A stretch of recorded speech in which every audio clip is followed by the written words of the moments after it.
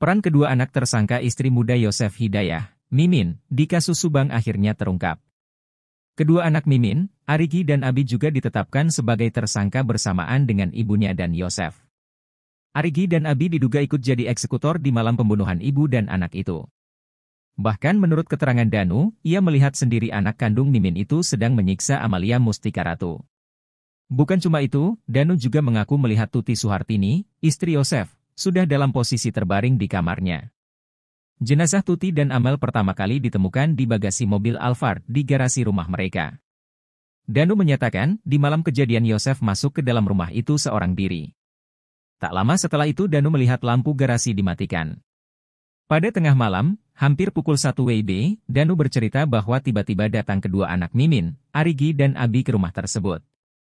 Kemudian setelah keduanya masuk ke dalam, Danu pun mengaku diminta oleh Yosef untuk mengambil golok yang ada di atas meja di dapur. Saat berada di luar, Danu mengaku mendengar teriakan Amel dari dalam rumah dan ia pun spontan langsung berlari masuk. Download Tribun X sekarang, menghadirkan lokal menjadi Indonesia.